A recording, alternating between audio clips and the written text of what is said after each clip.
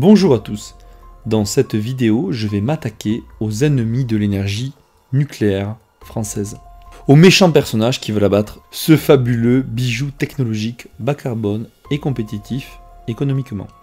Mais avant de dresser la liste des coupables et que nous sortions la guillotine, j'aimerais vous rappeler en quelques lignes les atouts de l'énergie nucléaire et la spécificité française concernant l'atome. Mais avant, savez-vous pourquoi les centrales nucléaires françaises ont des murs en béton? Pour cacher les bouteilles de vin et de champagne qu'ils utilisent pour refroidir les réacteurs. Je vous laisse deviner, s'agit-il de ma blague ou de celle d'une certaine IA dont l'énergie nucléaire c'est une source d'énergie fiable et stable qui permet de produire de l'électricité en continu, hein. autrement dit c'est une énergie pilotable, contrairement aux énergies renouvelables intermittentes comme l'éolien ou le solaire. Je commence cette vidéo avec un petit clash, voilà je suis chaud là, envers nos amis moulins à vent et les panneaux solaires made in China. Le parc nucléaire français est l'un des plus importants et des plus sûrs au monde, avec une technologie avancée et des normes de sécurité très strictes.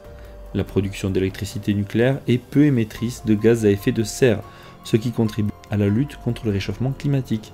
La filière nucléaire est créatrice d'emplois et d'activités économiques, avec un savoir-faire reconnu dans le monde entier puisqu'on a exporté des réacteurs. Le coût de l'électricité nucléaire est relativement stable et compétitif par rapport aux autres sources d'énergie. Le prix est même plutôt faible. Les déchets nucléaires y sont gérés de manière sûre et responsable avec des solutions de stockage à long terme en cours de développement. Bon, je ne vais pas développer dans cette vidéo sur cet aspect-là, mais bon, sachez qu'il y a des solutions à ce problème-là.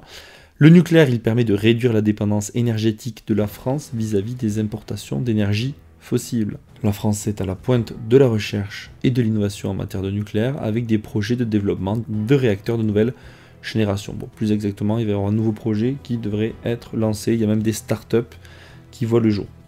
L'énergie nucléaire permet de garantir l'indépendance énergétique et la souveraineté nationale de la France. Le premier grand acte de désamour entre la France et l'énergie nucléaire va avoir lieu en 1997 avec l'arrêt par le gouvernement Jospin, gouvernement de gauche pluriel, du réacteur Superphénix. Donc plus précisément, qu'est-ce que Superphénix? C'était un réacteur nucléaire à neutrons rapides expérimental qui a fonctionné de 1986 à 1997. Il était censé être un prototype de réacteur du futur, car il avait la capacité de produire plus de combustible qu'il n'en consommait. Cependant, bon, il a rencontré des problèmes de sécurité, de coût et d'acceptabilité sociale, ce qui a conduit à sa fermeture. Donc, bien qu'il ait été controversé, certains affirment que Super Phoenix a contribué à améliorer la technologie nucléaire et à explorer de nouvelles possibilités en matière d'énergie nucléaire. Et donc moi je fais partie de ceux qui vous diront qu'au contraire ce fut une dramatique erreur. Il s'agit clairement d'un acte de guerre que va mener Jospin contre le nucléaire français. Le premier responsable est trouvé. Bien que ce soit un accord de gauche pluriel qui ait conduit Jospin à faire fermer euh, ce projet expérimental de quai Super Phoenix, c'est quand même lui qui a pris euh, la décision. Petite euh, blague nucléaire pour tenter de détendre un peu l'atmosphère. Pourquoi les personnes antinucléaires ont-elles peur des atomes? Parce qu'ils ont entendu dire qu'il y avait des réactions. Merci ChatGPT pour ce moment d'humour intense. Avant de donner quelques noms de personnes ayant une grande part de responsabilité dans le sabordage du nucléaire français, voici quelques éléments explicatifs pour comprendre le pourquoi de chez certains politiciens en carence cognitive, ils ont voulu abandonner le nucléaire. Premièrement, il y a les risques liés à l'énergie nucléaire. Bien que la France ait une très bonne réputation en matière de sécurité nucléaire, les risques d'accidents et de fuites radioactives sont toujours présents. La catastrophe de Fukushima en 2011 nous le rappelle, et elle a relancé le débat sur la sécurité nucléaire dans le monde entier, y compris en France. Deuxièmement, la question de la gestion des déchets radioactifs. Même si plutôt que je vous ai dit que la question elle était réglée, le nucléaire donc produit des déchets radioactifs et c'est un autre problème majeur associé à l'énergie nucléaire. La France elle en produit environ 1 200 000 tonnes de déchets radioactifs chaque année et leur stockage et leur gestion à long terme sont des enjeux importants. Troisièmement, le coût de l'énergie nucléaire. Le coût de construction de nouvelles centrales nucléaires est élevé, il augmente, tandis que pour les énergies renouvelables, telles que l'éolien et le solaire, les coûts diminuent, ce qui tend à réduire la compétitivité de l'énergie nucléaire. La demande croissante d'énergie renouvelable et les objectifs européens. La France s'est fixé des objectifs ambitieux en matière d'énergie renouvelable, avec pour objectif d'atteindre 40% des énergies renouvelables dans la production d'électricité d'ici 2030, et par conséquent de baisser la part de la production d'électricité d'origine nucléaire de 75% à 50% en 2030. D'ailleurs, savez-vous pourquoi la France ne craint-elle pas une attaque zombie? Parce que la radioactivité des centrales nucléaires ferait fuir les morts vivants. Hilarant. Est-ce ma blague? Bon, comme vous l'aurez compris, il y a d'abord eu Lionel Jospin, lequel il a mis un terme au programme Super Phoenix en 1997. Je l'ai particulièrement en travers de la gorge, je vais vous dire pourquoi. D'abord parce que la France, elle avait 20 ans d'avance sur le monde entier dans la recherche du nucléaire du futur et que nous avons tout simplement dilapidé cet atout. Je citerai aussi le duo Jospin-Chirac qui a décidé en 2002, lors des accords de Barcelone, de privatiser progressivement le secteur énergétique français. Construction européenne oblige. Cette décision, qui peut vous paraître anodine, a considérablement fragilisé EDF, qui était en situation de monopole. Et oui, un monopole public dans le domaine énergétique, vu comme était bien géré EDF, c'est un grand atout. Tout simplement car il n'y a qu'un monopole public pour réaliser de grands investissements à long terme, afin de bâtir un parc nucléaire et de le rentabiliser à long terme également. Le privé n'aurait jamais investi dans le nucléaire, tout simplement parce que le coût d'entrée est très élevé et le retour sur investissement lent. Petite blague pour détendre l'atmosphère, mes amis. Savez-vous pourquoi les centrales nucléaires françaises ont-elles des tours de refroidissement si hautes? Pour que les Parisiens puissent avoir de l'eau chaude gratuitement. Haha. Un autre homme politique ayant sa part de responsabilité, c'est Nicolas Sarkozy. Et oui, les amis. Vous allez me dire, mais c'est faux, il a relancé la filière avec la construction euh, de l'EPR de nouvelle génération à Flamanville. Certes, sur ce point-là, vous avez raison. Mais, comme nous l'a appris récemment l'ancien patron de LF, qui est l'ancêtre total, Loïc Le Floch-Prigent, Sarkozy, c'est aussi l'homme qui, sous pression de Bruxelles, a mis en place l'AREN hein, autour des années 2010, qui est un mécanisme de fixation des prix de l'électricité en France, qui est tout simplement hein, une spoliation simple d'EDF au profit d'acteurs de l'énergie privée qui n'ont pas investi un euro dans la production d'énergie française.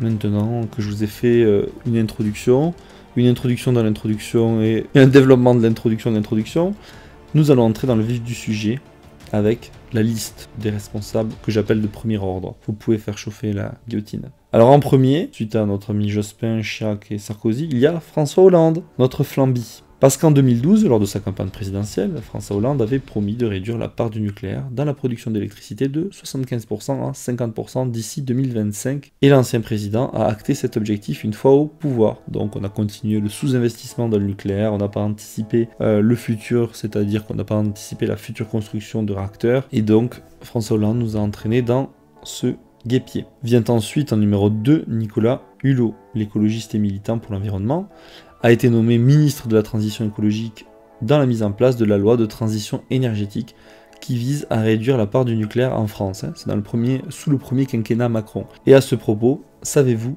pourquoi les éoliennes se plaignent toujours? Parce qu'elles sont toujours des pales. Troisièmement, Ségolène Royal. Et oui, l'ancienne ministre de l'Environnement sous François Hollande, de son nom Ségolène Royal pour ceux qui l'auraient oublié, elle s'est montrée défavorable au projet d'enfouissement des déchets nucléaires à Bure en 2016 et euh, en tant que ministre de l'Environnement, elle a pesé de tout son poids pour contribuer à continuer euh, de tendre cet objectif idéologique stupide d'avoir 50% d'énergie d'origine nucléaire en 2030. Vient ensuite en quatrième position Yannick Jadot. Alors lui, euh, je lui mettrai une couronne hein, dans la série idéologue pseudo-écologiste.